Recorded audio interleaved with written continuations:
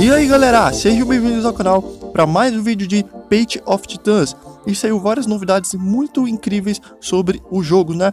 Page of Titans eles estão fazendo várias é, atualizações, colocando várias coisas no jogo. Então hoje aqui eu vou mostrar para vocês tudo que tem de novo até esse dia, né, que eu estou gravando para vocês. Então sem enrolação aí, vamos pro vídeo.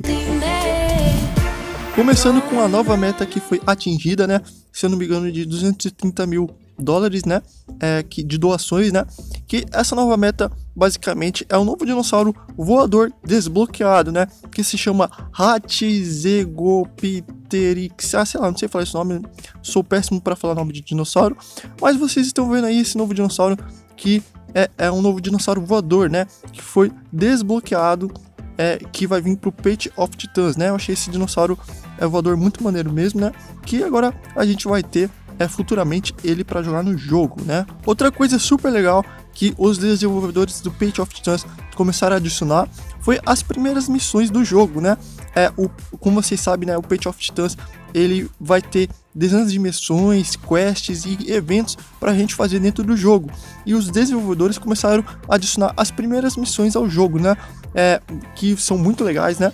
E a galera tá testando no multiplayer online, né? Ou seja, aí os desenvolvedores já estão trabalhando nas missões que a gente vai ter futuramente no jogo. Como vocês sabem, né? Os desenvolvedores estão trabalhando muito nos dinossauros, né? E agora a gente tem mais novas duas variações de dinossauro, né? De skin dos dinossauros, né? Começando aí pelo Alioramus, né? É, é, ele tem uma, agora uma nova variação, né? É, da skin dele. E também a gente também tem uma nova variação do espino, né? Tem aquele espino que a gente conhece, né? Que tem a cauda meio que parece de um de um jacaré crocodilo. Agora ele está um pouco mais diferente, né? Ele tem a, a, umas costas é, meio afundadas, sei lá, meio diferente. Então essa, essas duas novas variações aí do Alioramus e do Espino vão vir para o Page of Titans, né? Que os desenvolvedores eles já trabalharam nisso, né? E tá muito maneiro mesmo. Eu, sinceramente, eu gostei das novas duas variações, né? De skins do, tanto do Espino quanto do Alioramus, né? Achei super maneiro mesmo. E por último está a otimização nos servidores, né?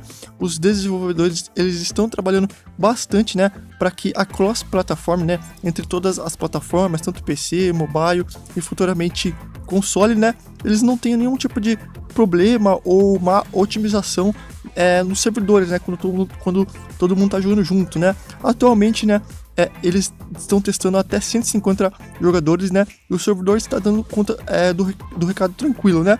Futuramente, né? Os desenvolvedores eles pretendem colocar até 200 jogadores em, em um mesmo servidor, né? Eu não sei como vai funcionar, né? Mas é, vai ter vários servidores, né? Então eles pretendem até 200 jogadores é, a cada servidor. Então é isso aí, galera. Comenta aí o que vocês acharam de todas essas novidades aí sobre o Page of Titans, né? Porque a sua opinião é super importante mesmo. Então é isso aí. Até o próximo vídeo, por favor, se inscrevam no canal para vocês não perderem nenhum vídeo de Page of Titans e outros jogos que eu sempre trago aqui no canal, né? Também deixa aquele like aí para ajudar e fortalecer o crescimento do canal, né? A sua ajuda é muito importante. Então é isso aí. Até o próximo vídeo. Falou e Fui!